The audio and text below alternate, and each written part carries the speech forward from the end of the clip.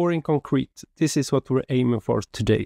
Okay, so we start up by selecting the light and the cube and we press X and then delete them.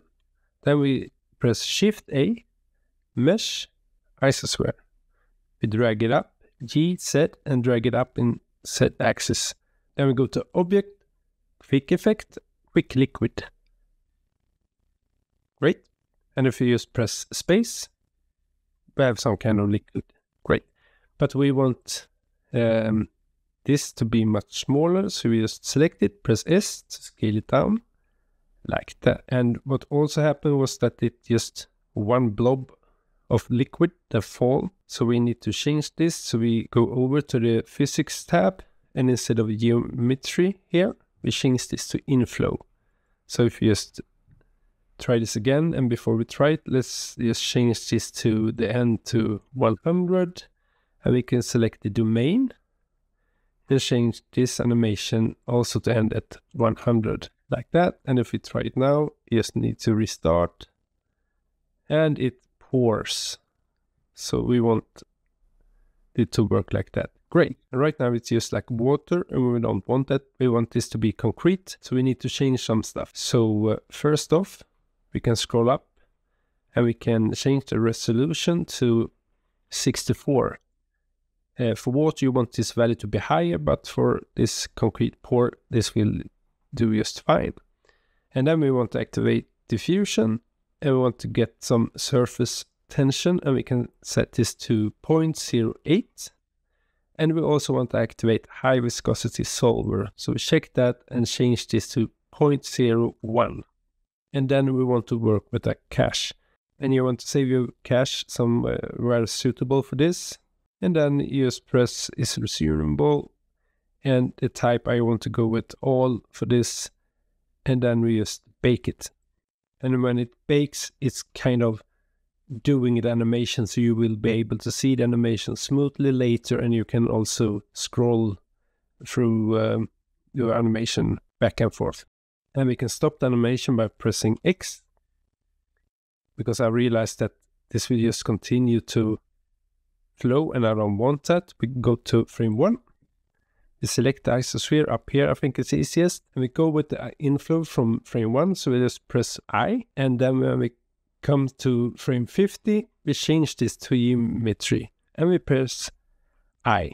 And now we choose pour until frame 50 and we stop with the pouring. Okay, so let's redo this. Let's select it the domain and we can resume uh, to bake the simulation. And it was only on 45, so this will work fine. But the animation is done, so now we can just scroll through it. Great. Uh, and if you now set up the camera by pressing Ctrl Alt 0 and press F12 to render, it's just a gray blob. So we need to change this. First off, I want to set up the environment. So we go to world, we go to color, environment texture, and then I want to add an HDR. And to get good HDR, I recommend that you go to Polyhaven. And so this is free, and I think this will look good uh, hangar indoor. So just download it in 4K, should be enough. And then you load it. Great. And if you now go to the viewport shading it looks like water and we can see the background. We don't want that, so we go down to film and transparent. So this water blob, we want to change the material of this one. We go to material settings and we can just press the minus to take that away and press new for a new material. Then we can just go to this corner and drag down. Can drag this up. And, and I like to do this instead of going to the shading um, tab because I have the timeline here as well and I want to use that.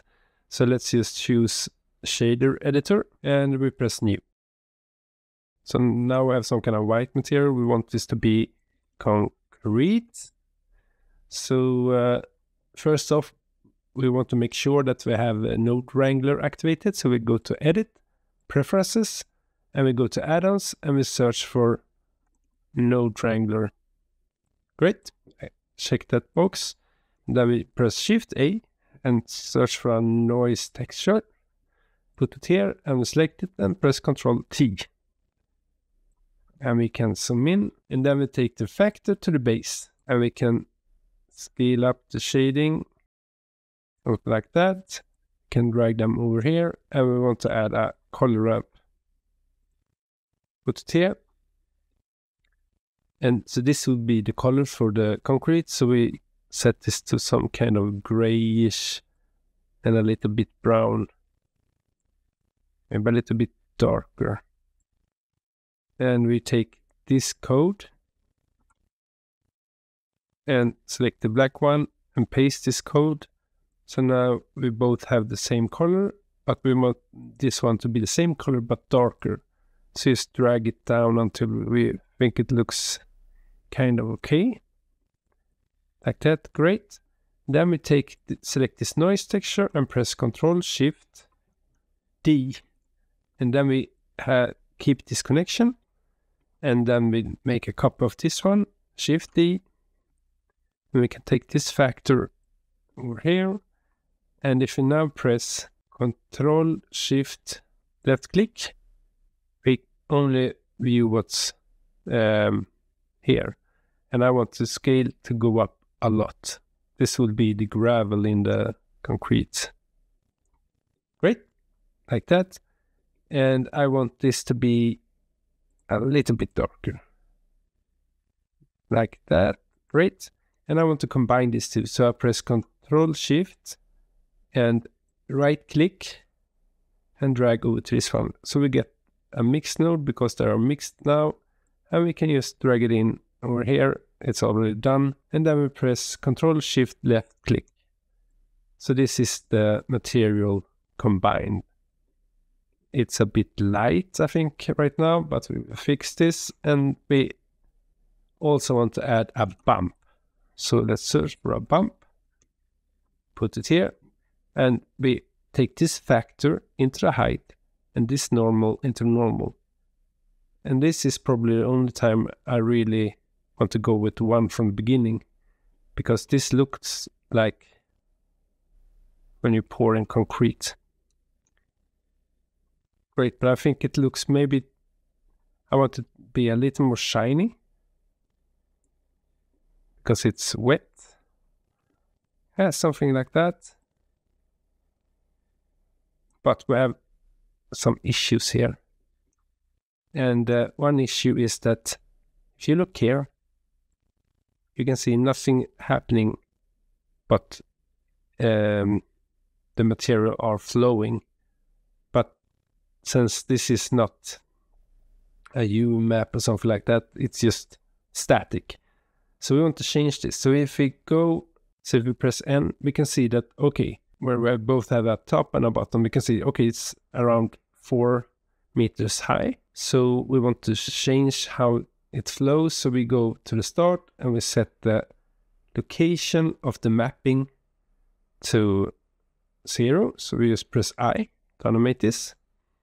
And then when it's all poured and flowing out, here we can go actually 200. And I want this value now to be maybe a bit more than four, so about five meters should be okay. So press I, and now if we look upon it, we can see that it's moving down with the flow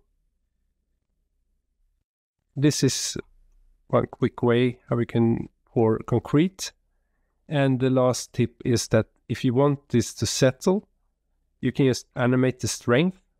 So we just set a keyframe and then you set another keyframe is lower because you can see here if you lower the strength, it looks like the concrete is settled. Great, and I also recommend that you um, maybe play with roughness when it settles as well it not be shiny anymore. So this is how we animate a concrete pour. Thanks for watching and if you like stuff like this please like and subscribe. Bye.